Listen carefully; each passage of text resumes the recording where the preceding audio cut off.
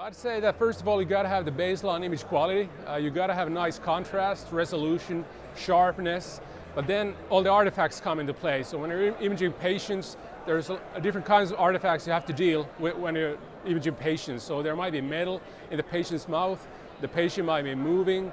Uh, if you want to use a low dose, there will be noise. So then th these, these are like an additional layer they have to tackle to get a good looking image. So I would say that it's a combination of these two, that basics and then handling the artifacts.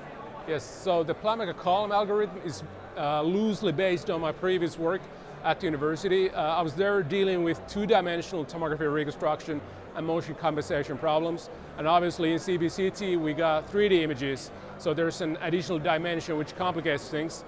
But the principle is that we are virtually tracking the motion of the patient. So we're virtually making the C-arm of the CBCT scanner follow the motion trajectory of the patient during the exposure acquisition. And that then basically compensates for the motion, makes the patient stay put uh, virtually in the imaging geometry, which then translates to a motion-free image.